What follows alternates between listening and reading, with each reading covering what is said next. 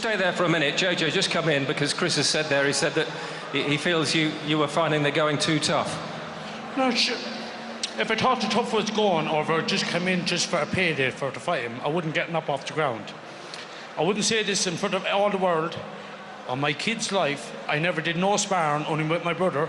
I had a bad shoulder injury. I took the fight. I knew he was a great boxer. Pleasure to share the ring with him. He's, he, no one is tough enough for me to finish off a fight.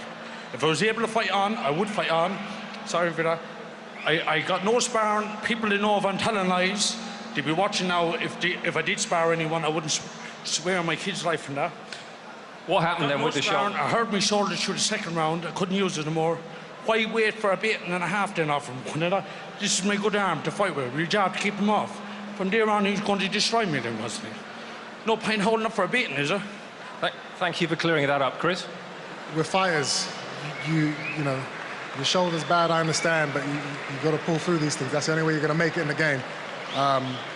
Not, not if there's another seven rounds left. I'd like to see you, if you were this old shoulder, in the first round as bad as mine, would you finish off in seven rounds with me? In my Maybe I look in my second professional fight. I fought with one arm for the entire fight. That's, that's how who much you- I wanted. and, to. uh, Yeah, that's why. Do you know who he fought? A journeyman that he could beat with no hands.